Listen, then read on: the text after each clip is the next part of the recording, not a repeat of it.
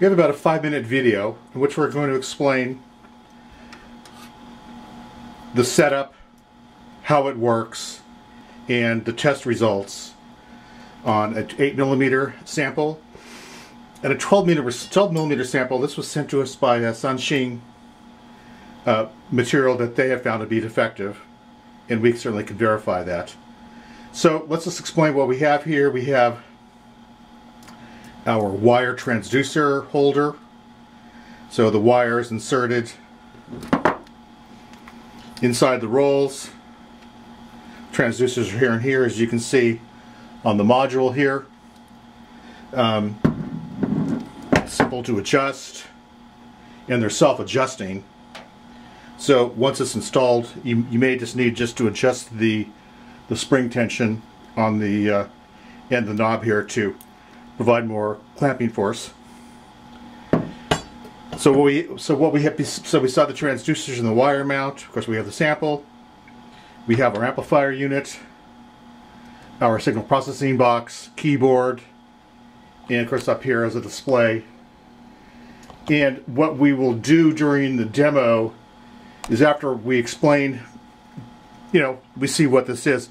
By the way, we won't be using a keyboard in actual production everything's on touch screen.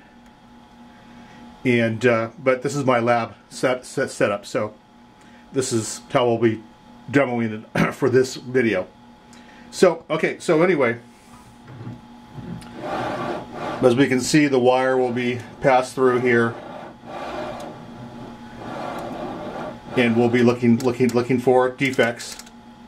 So the clicking that you hear is is relays inside the box that would be triggering first finger drop or whatever mechanical paint marker or whatever. Uh, so let's move on to the display. So as you see, we'll, we'll, be transitioning the back and forth. This is the 8 millimeter sample. Let's look at the display. We'll zoom in on the display.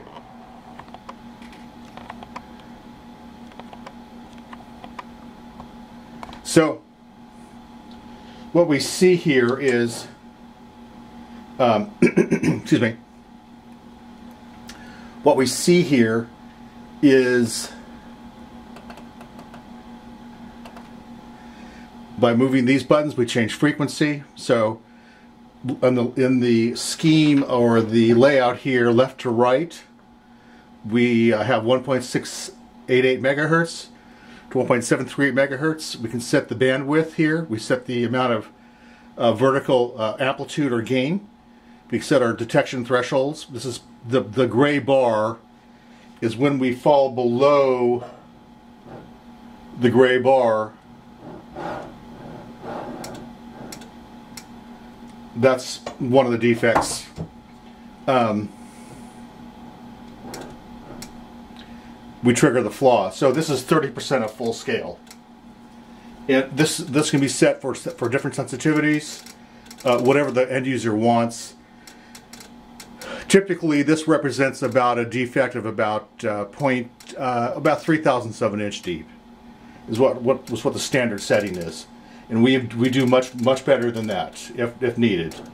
So let's go back to the testing. Um, uh, sorry, start stop. We can save the data in. Uh, we can save the setup so the operator is not um, recalling basically the operator will just open up the file, pull out whatever file he wants to use, and uh, whichever file that the customer just decides, pulls that up, and the settings come up automatically. That's it for, for, for system setup. So let's move on to just just uh, just some demonstration of the test. So as we we're moving the bar through, this is this is the defect, which is which I've marked on the bar. I'll move it out right here. It's about halfway along the length of the bar. There are several, uh, several other locations at which which defect appears. But at any rate, let's go back up to the screen. That's the center defect, the center of the bar defect. And you can see what happens, this red indicator bar, this, in, this indicates the signal amplitude in volts. So we read that here. This is the resonant frequency of the bar. This is where the, the bar goes into resonance, where we pick up the, the vibrational modes of the steel. And we can do uh, we can do encoder measurements or whatever by distance. Let me go back to this to the sample defect, and along the sample, there are other zones where we pick up defect. I don't know how deep these are. Um, this is towards the end of the bar.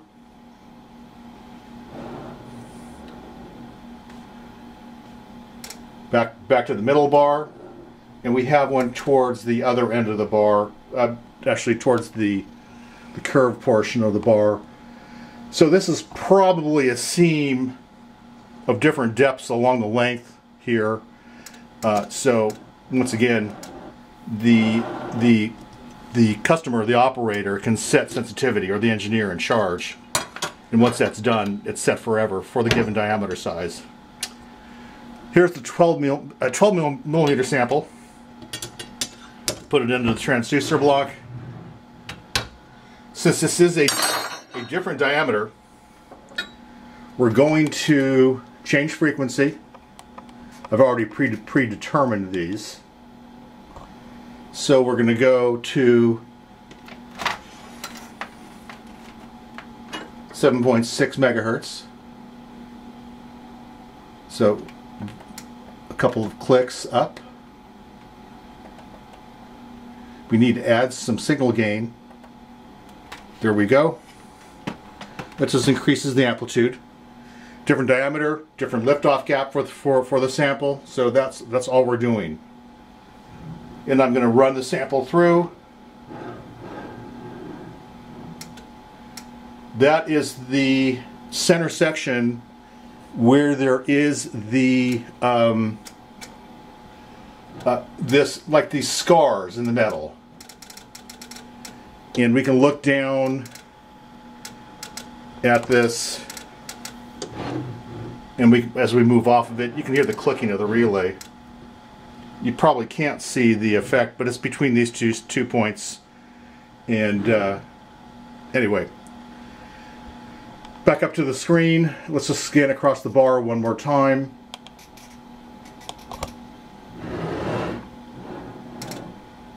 There we are on that defect.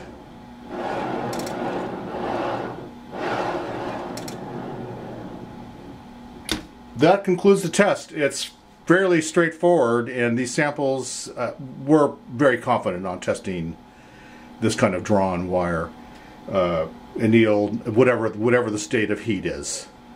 We'll also be able to do identify other defects or other anomalies, decarburization, um, improper heat, grain growth. We're doing some work on grain growth, uh, so we can identify other problems.